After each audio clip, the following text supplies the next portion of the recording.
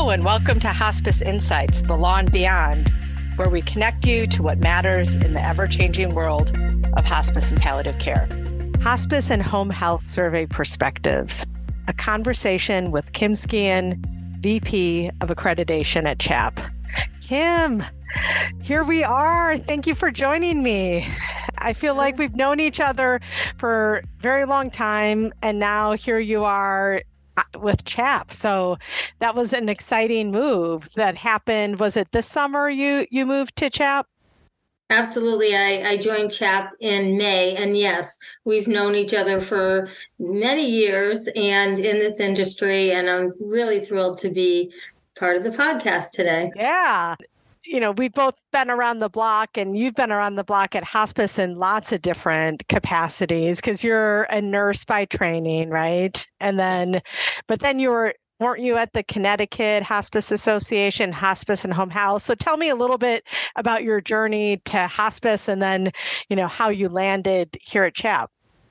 Sure. Well, I am an RN. I have over 30 years in hospice and home health. Uh, uh, and with prior experience in oncology. So it's been in my bloodline for virtually my entire nursing career. I now live in Maine, but previously I lived in Connecticut for most of my professional career, where a hospice agency must also be licensed as a home health agency. So, oh, really? ways, yeah. Ah. So in ah. many ways, I was able to work both roles with hospice being my passion. And you're right. I have worked as a clinician, a leader, an educator. I was a clinical instructor for UConn uh, many years ago. Wow. And and most of my experience has been in the areas of compliance, regulatory, and quality in both clinical and administrative roles as a consultant and yes as a uh, an exec for the I was a VP of clinical and regulatory services for the Connecticut Association for Healthcare at Home my my work in consulting and the way our paths have crossed over yeah. the years has been up until my move to CHAP has involved uh, the compliance side extensively with government audits, appeals, and investigations, as well as operations. And then from a survey perspective, I've worked for many years as a consultant and a state and CMS appointed consultant working with providers related to survey readiness and follow up um, related to plans of, of correction and keeping abreast of the seemingly ongoing regulatory changes over these years. And of course, you and I together are uh, serve on NHPCO's regulatory committee. And also, I also serve on NAHC's hospice quality work group. So busy on the national as well as, um, you know, certainly the state and industry forefront for many years. Yeah. Well, and talk about changes. We're going to be doing a podcast, um, a year in review it's probably going to be in early 2024. So depending on when this comes out, it might not be in order, but I, I was saying to my team, I was like, we need to put together a chart of all of the changes because my head is spinning. And I think there's like, there might be like 12 or 14 different regulatory changes that have happened. And so much of it is like on the enrollment side, which obviously can have some interface with what you do at CHAP. And so excited to learn what is it like being a chap like what are your days doing? Because you're not obviously a surveyor you're heading up uh, you know accreditation. So i'd imagine that's both working with your survey teams but also cms you have a contract with cms and all that stuff. So so tell me a little bit about your days and what it is and is it like what you thought it was going to be like or Absolutely. I will say that it's actually even better than I and, and imagine that it would be. Um, I have worked very closely with CHAP um, as an AO for accrediting organization for many years, as long as I have been alongside CHAP in my survey roles. Um, but now in this role as VP of accreditation, I'm responsible for all accreditation or survey activity. So all of the surveyors, we call them site visitors, all of our accreditation decisions and operations um, do I they they do report and work directly with me. Um, I work alongside, yeah, Dr. Jennifer Kennedy. You may remember. Yeah, of course. Um, she does say hello, and yeah. she is um, she's my counterpart. She's the vice president of quality and standards. So between both of us, and then Teresa Harbor, who's our chief operating officer, we really manage all of the day to day requirements, if you will, for for uh, home health, hospice, home infusion, and DMEPOS. We are a deemed a CMS deemed accrediting organization. What that means is we can provide or conduct those surveys on behalf of CMS in lieu of a state survey agency. So I was going to eh, sort of jump in. And so that's obviously a, a really big role, lots of different provider types in there. Um, and I guess in terms of your interfacing with CMS, mm-hmm. right? So they're giving, and I'm thinking, I feel like CHAP has been, are they the longest standing hospice accrediting organization?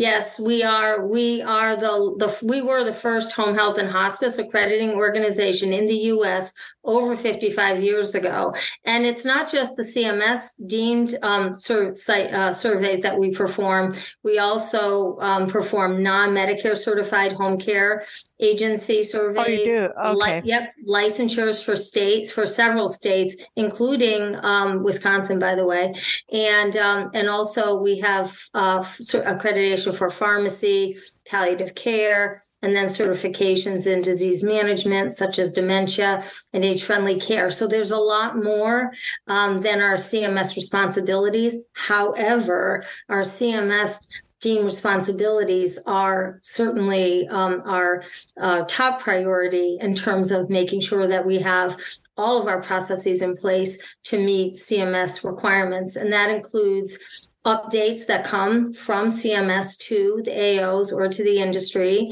And, and also we receive those notifications from CMS or the MACs, the Medicare Administrative Contractors or state agencies when there are um, substantiated complaint surveys, changes of ownership, change, you know, all of those, yeah. the, the, documentation that organizations have to fit in, fill, um, submit, and also when they are approved, right, for their initial CCN. So we, in this role, um, which I have almost daily, and in you know communication in some for- fashion um, that involves CMS, and and for that, I'm, I'm actually very, it's very exciting. Believe yeah. believe believe it or not, part yeah. of my role, something I have, I, I did, you know, more so in the years um, with the state association, but it really is, um, see, I have to say that the groups that we work with at CMS are very supportive of the AOs and, and, and very responsive. So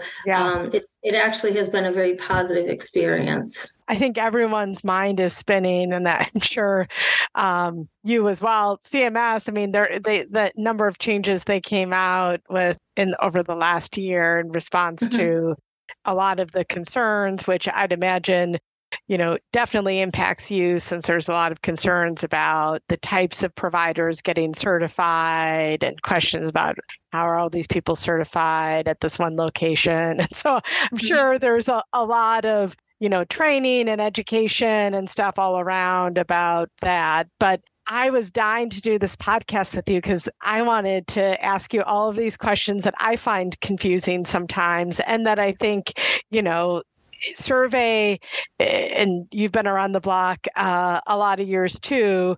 You know, I, I came up doing a lot of nursing home survey work, which is so well developed for a very long time. You had the scope and severity grid, you know, the interpretive guidelines were like a thousand pages. I mean, there was lots of guidance. And then you know you go to hospice and i mean now it's a little bit more well developed but there's still lots of things that are unwritten uh, you know and the place i wanted to jump to first was um, and this is maybe my soapbox a little bit is just this line between condition level citations and standard level citations and you know i was really hopeful when we were doing some of the survey reform that would there would be greater clarity all around about when because i guess eh, from my perspective and I, i'm sure you maybe saw this as a consultant too is sometimes you're there's not a lot of rhyme or reason. Like I sort of think like, well, you should get a, a condition level if, you know, there was actual harm and it was serious or the p- potential harm was very serious. But sometimes I see not a lot of rhyme or reason to it. And we obviously don't have clear guidance that says, like the scope and severity grid you have for nursing homes, like this is when you're going to get an E level citation or whatever. But tell me, like, how CMS views that and how you view that and how you educate around that. Because I think that that's a really important question as we think about all of the survey reform and penalties now that can be attached to certain things that that's really important well, certainly, as you pointed out, I have a lot of experience prior to CHAP, but I can tell you that um, our processes with CHAP in, in CHAP are very thorough. We have to start with first that all of the site surveyors, we call them site visitors, um, are tra- QSEP trained. So they receive CMS training. Um, and, and that is the same for the other um, accrediting organizations as well, that I believe, as well as the state survey agencies, are also um, supposed to have that training done as well. We also have, in addition to, to thorough training, we have a really a two level review process. I can only speak to our CHAP process. When site visit, when findings are submitted by the surveyor, they are reviewed internally by our internal team, and then we also have a board of review. So before, um, and that sometimes will go after a plan of correction, but there's also there's a lot of discussion and decision before findings are you know are finalized and the criteria you are right i mean with the exception of immediate jeopardy which of course has um, appendix q with the triggers yeah. Um, the the different the really the the differentiator, and I go back to the word scope and severity as well. Yeah. So you know is really whether there's an actual or potential severe or critical patient health or safety breach you can have a situation where there are a number of standards under a condition or elements under a standard that you know combined may rise to a condition. But more often than not it's really about the impact of those findings and potential impact on the of those findings on qual, uh, safe and quality patient care. An example is um, a hospice aide. Um, you may have several you know, uh, you may have a few items, right? A tags out on a hospice aide for not following the plan of care, but it may be related to not changing the bed or not, mm-hmm. you know, mm-hmm. brushing the patient's hair or, um, or um, you know most of the aide is competent but the sur- survey uh, uh, uh, uh, supervisions may not always occur. That may be looked at differently, and I'm not saying every time, but I'm just using mm-hmm. that as an yeah, example. Yeah. Than a, than a hospice aide that was did not have evidence of training and competency. There were there was no supervision, and and the items on the plan of care that they the, the aide care plan that they were missing were things like safe patient transfer, you know, bathing the patient, the patient is on oxygen, or the patient's bedbound and has a risk for skin breakdown or a wound. So you really have to look at at the you know all of the aspects um, before you can make that decision. And like i said i can speak for chap. We have a, an oversight process that we really do make sure that if we're citing at a condition um, and certainly at an ij but at a condition um, that that those are also thoroughly reviewed. So we take we take that our responsibility very seriously. I guess on that front because you know that that's sort of how i would see it too. And if I were in your shoes, I mean, mm-hmm. it shouldn't just be like, oh, yeah, a number of standards out. That automatically means a condition level, right? It's like, how serious is whatever deficiency we're talking about and potential or actual harm, which I think is important because where I wanted to turn our attention to was about advocacy, right? So you did this a lot as a consultant and it's what we do as lawyers is and, and i think is so critical when we talk about survey management. And i think it's something that um, you know as opposed to when we talk about government audits where it's like nameless faceless person who's looking at records like you do have an opportunity with your site visitors to have a conversation or as you said there and we can talk about this a little bit more about the appeal process that chap has and things like that but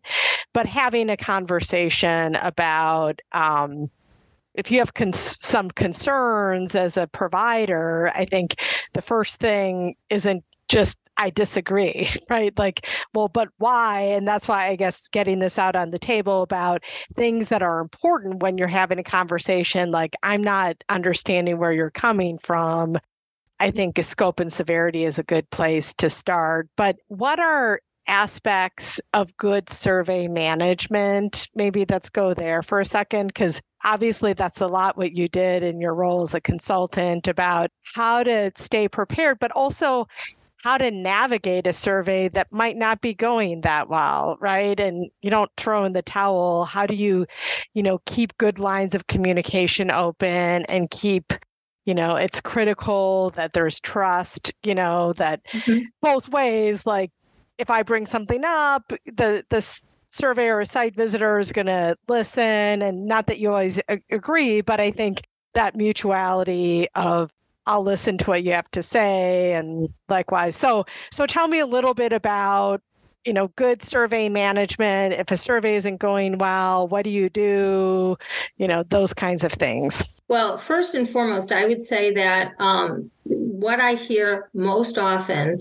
from from from our customers, our providers, is that a, a, a, the hallmark of CHAP is that we are edu- our approach is educational. So we we do our site visitors are you know very thorough. They're um, they're very communicative. We just I just had an example today of an organization that was very complimentary of the guidance, not just the guide, you know, not just okay, this is what you need to do for the survey but overall, you know, helping them to understand what the regulation is.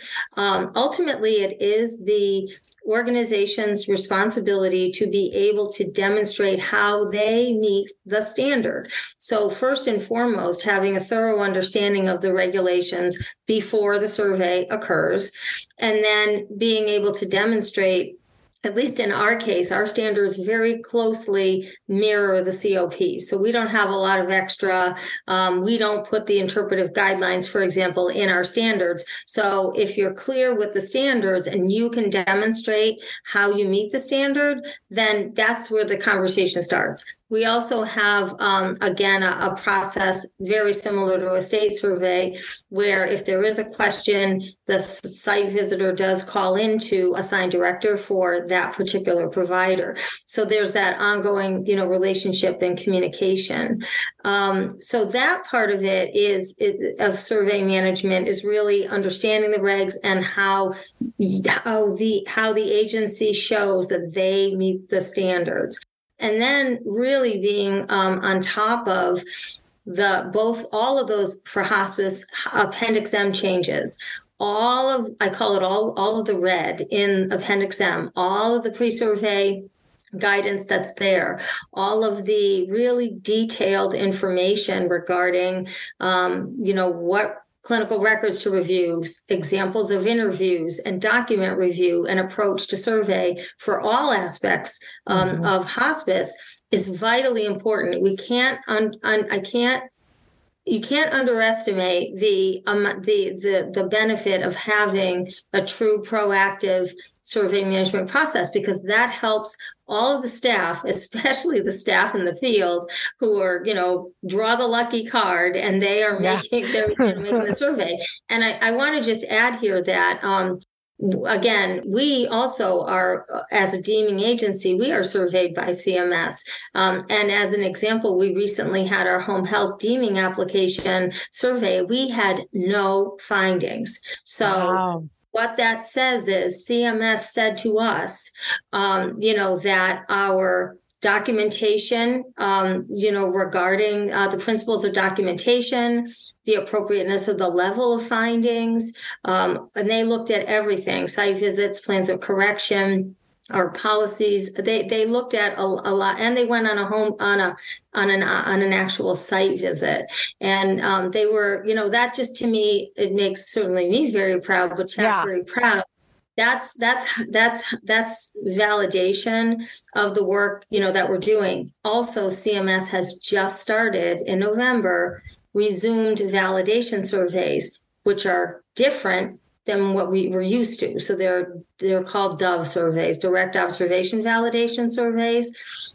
Um, CMS contractors are going out with the the AO um, um, surveyors and observing. It's oh, not a separate survey. It's not going to be two sets of findings, and it's they are not uh, conducting the survey. They are observing our our surveyors and um, so it just started in November, and uh, and right now it is uh, announced to the AO to CHAP, so we know ahead of time. Uh, agencies do not, because of course our surveys are unannounced. Yeah.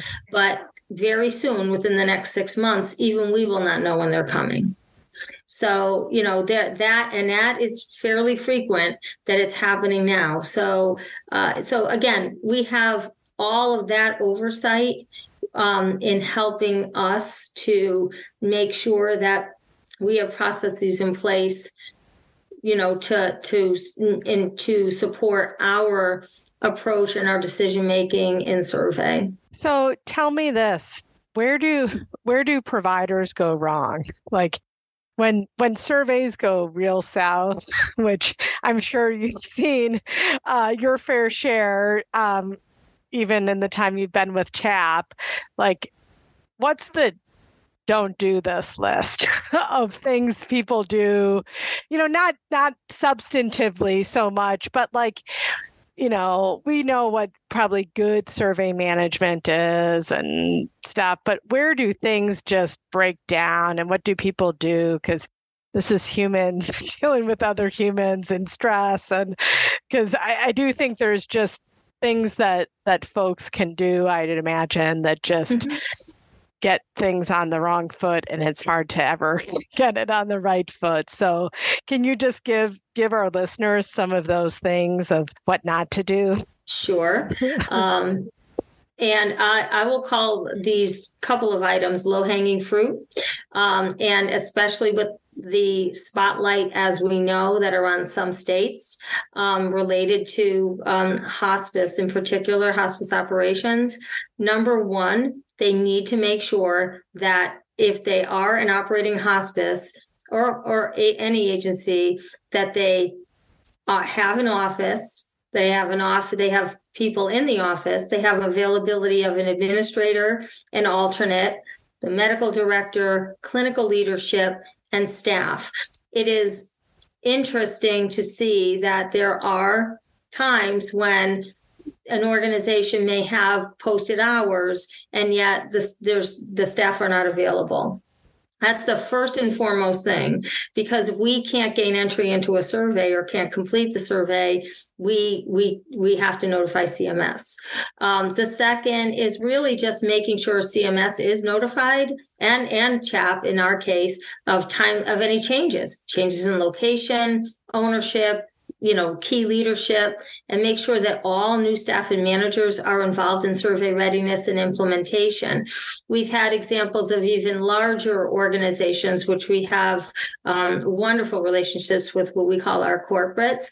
Um, and just they have a great most of the time there's a very strong corporate structure but just making sure that the local the local um, office has also that training and they understand you know their role and responsibility in survey. And you know just from a survey management standpoint you've heard me say i'm sure many times keep a survey readiness book online and in each location. And to facilitate timely provision of reports whether it's a census report you know schedules the documents um, because that that's a, a personnel record list you know hr list just things like that that inevitably you know any delays just causes you know more stress on the survey as far as the survey itself you know um, they just you know really I can't stress enough how much practice, practice, practice. So that means those mock surveys with your field staff because they're really you know they, they're the most vulnerable in terms of of really uh, you know you know first of all being really nervous and then potentially saying or doing something just because they're they're they're scared they're they're nervous you know hand hygiene or you know answering a question, you know, uh, you know, completely wrong or providing a lot of information that really the surveyor doesn't, you know, necessarily need to have. Um, and also remember that surveys can happen at any time and substantiated complaint surveys along with condition level findings and IJ sort uh, are components of potential inclusion for the SFP. So they really have to make sure that they have a tight complaint process, you know, um, and a follow up with their QAPI programs and monitoring their hospice quality reporting. So all of those components, um, they really, they, the agency really needs to have a process in place um, to be able to know how they are addressing them ongoing. Another new acronym SFP. It does not roll off my tongue, but special focus program when you're talking about IJs and condition level and substantiated complaints, which again, one of the many, many changes that we're seeing and how that will actually play out is going to be interesting over time. I mean, I just think the stakes on surveys is just so much greater. Um, obviously we can get civil monetary penalties and we can um, you know have the manager outside manager assigned denial payment for new admissions. I mean all of this stuff i mean if you weren't taking it seriously before i mean it's the ramifications of this are just really significant and can really have money problems too, because the denial payment for new admissions for hospice is a huge deal because our length of stay is really short. So if that's in place, I mean, so much of our census turns over every single month. So if you have a denial payment for new admissions, like for a nursing home the number of medicare patients that you know new patients are getting might not be you know the same volume we're dealing with so these are really significant Another significant thing that happens as we sort of wind down here that is not new, but I think it has some logistical things that just I think would be helpful um, for you to explain about when someone who has deemed status get like they lose their deemed status and they go to the state survey authority and what does that actually mean? How does that happen? How do you get back to the AO? And can you explain a little bit? That's typically I've run into when you have a condition level citation and then, but why don't you tell me more of the story about how that works? Sure. Well, um, when an organization has um, typically substantiated complaints with the con- with condition level deficiencies. It may not be just a condition level deficiency. It may be that they've had condition level deficiencies that were then not re um, rectified if you will you know within the 45 days. It really depends yep. on the circumstance IJ for sure, immediate jeopardy um, in those cases, um, or if a state conducts a complaint survey and identifies a substantiated complaint, what happens is the agency is notified that their deemed status is um, is not is is no longer is temporarily removed. Um, what that means is that the hospice still has they um, still has their CCN. They still have their provider number. They can still admit patients and uh, unless you know without any enforcement yeah. remedies they can still bill they don't lose their billing privileges because a lot of times there's that some confusion there um, and it is redeemed or they they are able to be reinstated as an a of as a deemed accredited organization when the condition levels um that they have clearing of their condition levels or their immediate jeopardy. So there's a process where cms and actually notifies the agency of the removal of their deemed status um, and then the reinstatement. It says deemed status is maintained. So you know again um, we monitor those you know, with um, organizations, and we have an obligation to report to CMS all of our survey findings, and then CMS will notify the agencies. So then that revisit that has to happen to get back into deemed status, then does the state do that then? Or do it depends. You... Again, okay. if it's a if it's a regular condition clearing, you know, under normal circumstances, if we have just condition level deficiencies, it doesn't automatically revert to the state. I always thought that it did, but it does not. We do condition clearing visits and then we notify CMS. Um, the way we see deemed status removed is typically if um, there's an IJ or a state uh, substantiated complaint survey with condition level deficiencies. Uh, and in which case we see the, the trail, we see the communication to the provider, we Got see it. when that survey was done. But nine times out of 10, we do that. Sometimes, if we have a situation where we were not able to gain entry into an agency, um, then um, we notify the the CMS and then their accreditation is temporarily terminated but they're or terminated but they they they still maintain their provider number. So they they then also refer to the state agency. So it's it's a little bit complicated but i think the biggest you know there's a lot of nuances if you will. Yeah. So, but the the the biggest lesson is that just because deemed status is um, you know is temporarily removed um, it doesn't mean that the that the provider number is removed. And then that revisit survey so let's say they they say your deemed status is temporarily removed. Obviously you're going to need a revisit to get back into substantial compliance i'd imagine typically. Like so who Yeah. does that? Do you does the AO Again, not do that it depends if if, if Oh, deemed okay. status hasn't if the, if the deemed status has not been removed under most c- cases where we have condition level deficiencies right Yeah. even ij will go and do the re the will do the return visit and then and and then we report that to cms and that is cleared um, there are just times when the state has then determined that they are going to um, Oh, you know okay. go out and do a visit sometimes if we if we report to cms our findings especially if it's a complaint um, and the state has also received a complaint there may be a, a second survey by the state agency. Oh so got it so it's not an automatic that a condition level deficiency or even an IJ automatically means that it reverts to the state. That really is a CMS determination. We most often will conduct those surveys and get the and get the and and work to to um, get the agency back into compliance, right? So they can demonstrate it. But you Yeah. know, and we've had that experience where um, we've gone, you know, gone out close to the deadline, right? Close to 23 days yeah or close to the 90 days, even after the 45 days. And it's at, at that point, um, you know, first of all, at that point, um, certainly as a consultant, we used to say, make sure you have a, a, a hospice experienced lawyer Yeah. yeah to help you.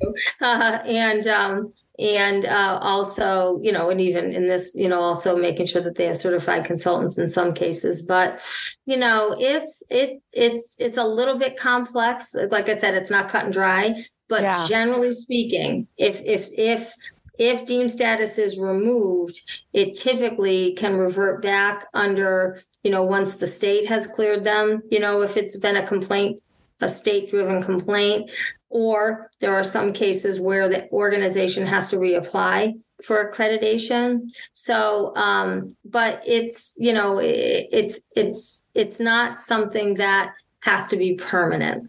So, the last thing I wanted to cover, which sort of dovetails on some of the stuff, which I think um, is an area that we as an industry need to get way better at, which is writing plans of correction. Um, I I am sure you saw this all the time when you're a consultant. You still see this all the time where people either write too much or too little, you overpromise, you underdeliver, like, you know, people just don't hit the right tone. Like it's really like the who, what, where, why, when, how in short form, right? Like, who's going to make sure this is going to happen? You know, when is this going to be done? How are you going to, you know, measure this or, you know, whatever it may be? I, I still think people really struggle with writing effective plans of correction because, um, you know, one thing I, I see again in the do not do list is don't overpromise. You can do more than you you say you're going to do in your plan of correction. You don't need to write it in there, right? If you want to do something, but the worst you can do is say you're shooting for the moon and you know, and then you get a failed revisit because you didn't do what you said you were going to do and it's like you don't get extra credit for saying you're you're going to do more. So, I think stick to to sort of what is actually needed, not like the gold gold star or triple gold star or whatever. Um, I see that a lot, but I guess what's on your sort of top top five list of like what people do wrong in plans of correction well, again, I'm I'm leaning on all of my experience when I respond to this. First and foremost, they need to make the plan of correction measurable and achievable. Exactly what you said. You want to make sure that it makes sense for the organization to address, you know, the the finding uh, uh you know identify what they're doing for monitoring and follow up but make sure it's it's achievable also making sure that the monitoring is um, has an endpoint. When you know because sometimes we'll see plans of correction that look as though they're going to continue on with 100% audit in perpetuity. And you know so you want to have a threshold. You want to have you know a self-defined um, tapering down if you will um, you know once thresholds are met and then incorporate it into your organization organization's QAPI program, whatever the routine quality monitoring program. So, you know, you don't have uh, really a, an untenable plan of correction. However, you do have to, they do have to make sure that there's oversight of that plan of correction to make sure it is implemented as noted. Because previous deficiencies may be taken into account if there are still issues. And remember, with the survey changes, if there are findings cons- same findings across multiple providers. If you have a larger organization, oh. multiple CCNs, we, we look for for trends. Um, you know, and we are able to do that. We we definitely do it, and and and any survey agency will look at prior survey information yeah. as well. And and if you know, if for example individualized care planning was uh, uh, because that seems to be the top you know the top finding yeah. um, if that if you had this great robust plan of correction and you completed it and you had a condition we'll just say for you know for for uh, you know for the um, for that citation and then or for that condition and you know the uh, surveyor comes out 45 day clearing right? You do everything you're supposed to do. And the minute the surveyor leaves you put it on a shelf and yeah. never look at it again. So then a complaint resurvey, right, three years later, or a complaint survey six months later, and we still have the issue, that's the kind of thing that organizations really need to make sure that it is reasonable, but that they can maintain that monitoring and hold staff accountable, all staff, for not just regulatory compliance, but for their responsibility in, you know, implementation of the plan of correction. And I we also recommend, I always have recommended utilizing hospice experience consultants and in some cases legal counsel to address any ongoing or serious findings, you know, especially if enforcement remedies are being considered because there's a not there's there are many hospices that are there are many ho- wonderful hospices. Most hospices i will say are wonderful. And they really do strive to you know to to to meet the highest standard. There are many hospices that are newer that may not have experienced staff or leadership or have had changes and they really need to have that expertise to help guide them um, you know um, to be able to make sure that they are successful long after the survey you know the survey completes. Yeah well right the plan of correction is not a piece of paper. Compliance is not a person, right? right. Compliance right. is a organizational yeah. um, responsibility. The plan of mm-hmm. corrections a living, breathing thing that um, you know you don't need to get an a plus you need to get through and you can do a plus but don't write it down right that do, something that you can actually accomplish because the i just see people I guess, get sidetracked by doing more than is required, and therefore they don't end up meeting what they actually needed to do to get out of it. And so then they fail to revisit. And people won't know that that uh, we actually do this so we can see each other. And Kim's shaking her head and like, yeah, because it's like, how often have we seen that where it's like, gosh, you don't need to promise the moon. And so it sounds like you're in agreement with me. Is just well, people get just sort of they almost overreact to stuff like, oh, I got to show I'm taking this seriously. It comes from a good place, but actually, you only have so much energy and so much time. And that's why it's like you need someone who's skilled at looking at what is the essential part of what we need to do and then start there and do that. and and and not yeah start by not missing the mark but then making sure that again it's a reasonable sustainable plan of correction. Now i will say that you know they have a plan of correction does at least the first part always needs to be implemented within a you know a, a relatively short period yeah. of time but um but again it's that sustainability you know um that that becomes that that really is what the organization needs because ultimately that's really the goal is you know the the survey it's the responsibility of everybody in the organization and with this you know increased scrutiny organizations need to make sure that they you know have have processes in place that they you know have reasonable monitoring ongoing.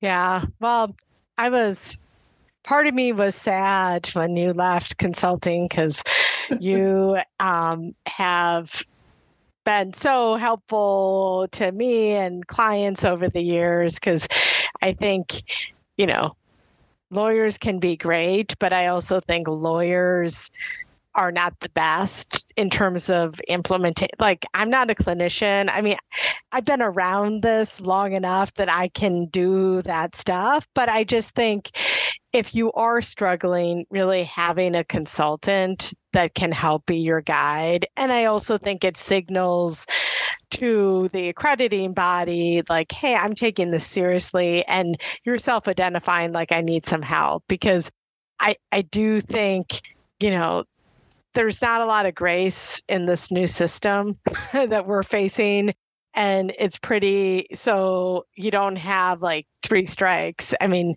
yeah it's not like you're going to be we're termination track now immediately but right. there's very serious ramifications even though it's not termination that can happen and so i just was you know sad to lose you as a colleague as a consultant as someone when a client's calling me in crisis and thinking like I need someone that can go and sort of speak the language and get things done and all that. But at the same time, you know, it's very cool in your current job and someone that I know brings the wealth of experience that you do and different perspectives because I think you operationally understand what it is to be in a hospice. So, hopefully, in terms of you know, providers having conversations, you understand. It doesn't mean you always agree, but I think probably